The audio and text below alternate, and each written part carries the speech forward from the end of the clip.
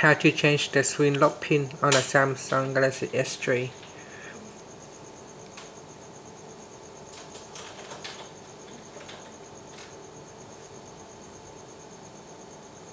so first go back to the home screen.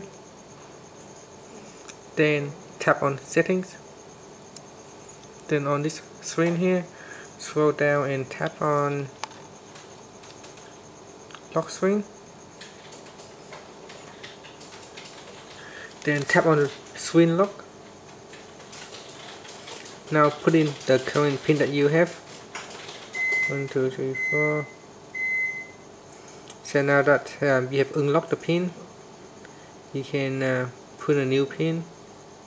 So now you can change to a new pin for example um, 1111 continue. Then tap on 1111 again and then tap on OK so now you have successfully changed the old pin to a new pin.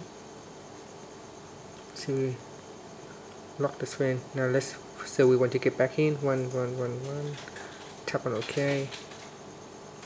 So that's how you change um, the pin on your Samsung Galaxy S3 Thank you for watching this video. Please subscribe to our channel for more video tutorials.